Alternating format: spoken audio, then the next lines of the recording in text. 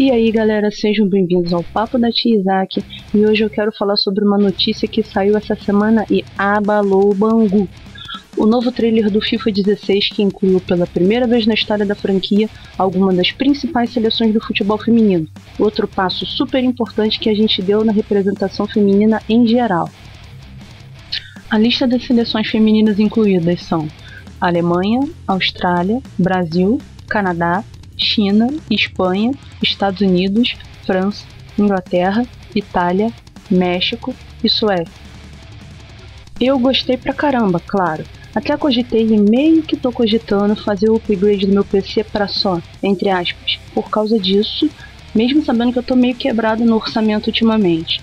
O trailer tem uma sacada genial. Ele adapta o slogan da EA Sports, que é um dos mais famosos do universo game, e coloca os jogadores para dizer que nós não estamos aqui para assistir, nós estamos no jogo. E ponto. É perfeito. Afinal, nós estamos em 2015 e se os homens e até algumas muitas mulheres ainda não conseguem assimilar a ideia de que sim, mulheres também gostam de futebol, eu recomendo pegar a sua máquina do tempo que está encostada na garagem, que está encostada no quintal, entrar nela e sair do tempo das cavernas e vir para 2015, que do fundo do coração a gente espera vocês. Segundo Nick Cannon, produtor executivo do game, essa ideia era algo que a EA queria implementar no FIFA há muito tempo. Ele diz: Sempre dissemos a nós mesmos que colocaríamos as mulheres no game assim que pudéssemos representá-las da maneira correta. O processo envolveu aquele básico de coletar dados e atributos dos times e das jogadoras, passando pelo desenvolvimento de novas animações.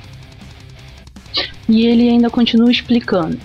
Os movimentos de homens e mulheres no futebol são parecidos, mas há diferenças sutis nos ciclos de caminhada e de corrida. Já o David Hutter, diretor da EA Sports para a série FIFA, disse ao jornal, ao jornal The Guardian que nós, a EA, precisávamos ter ferramentas e tecnologias que pudessem diferenciar mulheres de homens. As meninas passaram pelo mesmo processo de captação de movimento que os homens, e além das ações de jogo feitos chutes e passes, também foram criadas comemorações características de alguma delas.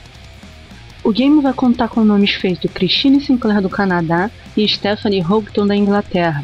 A galera sentiu falta de mostrarem o time brasileiro e até ficou preocupada, o que eu super entendo, mas vejam por outro lado. Esse trailer saiu relativamente antes da E3, que para quem não sabe é o maior evento de games do ano, com lançamentos de jogos, novidades de consoles, serviços, e já é tradição que todas as empresas, desenvolvedores e todo mundo ligado ao universo game segure toda e qualquer notícia e novidade para só mostrar, só revelar, só anunciar nas suas conferências. Por isso eu já achei até um milagre aí ter soltado alguma notícia agora.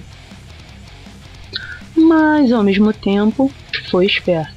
Os caras largaram uma parte da bomba, deixaram todo mundo de orelha em pé e agora só vão soltar a bomba completa em 15 de junho, dia da conferência da Electronic Arts na E3. Aí sim, dá pra mostrar Marta, roupa solo, fazer ritmo de festa, tal e coisa, coisa e tal. FIFA 16 chega às prateleiras em 22 de setembro, pouco mais de dois meses depois do começo da Copa do Mundo de Futebol Feminino no Canadá que começa em 6 de junho e é claro que eu já estou marcada de assistir. O game chega para PC, Xbox 360, Xbox One, PlayStation 3 e PlayStation 4. Agora vamos ver como é que esse bonde anda até setembro, né? Porque já não demorou para surgirem as primeiras piadinhas machistas toscas, porque eu digo e repito, tem homem e tem mulher que pensa que mulher não gosta de futebol e ou nunca jogou FIFA. Mas vai lá. Até fiquei surpresa de ver vários comentários de homens elogiando a novidade, ou porque eles realmente gostaram e eu fico muito feliz por isso, ou eles conseguiram fingir direitinho para posar de politicamente corretos. Vai saber, né? Tá aí a Marta com 5 cinco prêmios melhor jogadora do mundo, mais do que Cristiano Ronaldo e Lionel Messi juntos, para provar o contrário desse machismo. Ridículo. Se você quiser um exemplo mais no nível dos mortais, tem o meu próprio exemplo.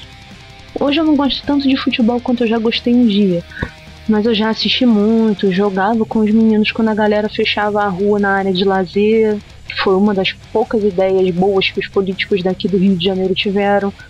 Já torci meu braço depois de cair jogando e quase entrei para a escolinha de futebol de um amigo quando eu tinha lá para os meus 12, 13 anos. Por isso não é uma questão das mulheres roubarem o espaço de vocês homens. Né? Longe disso. É deixar o espaço de vocês com vocês e tal como diz no trailer do game, mostrar que esse é o nosso jogo também. Ninguém tá obrigando ninguém a comprar o FIFA só por causa das seleções femininas. E se você comprar, ninguém tá obrigando você a jogar com elas. Tem tanta coisa para fazer no FIFA e tanta coisa para fazer na vida que ninguém tem motivo para reclamar. Ah, antes que eu esqueça. Não, os times femininos não vão poder jogar contra os masculinos. Segundo a EA Sports, essa decisão foi uma questão de manter a coerência com o futebol do mundo real o que faz todo o sentido e não tem nenhum espanto.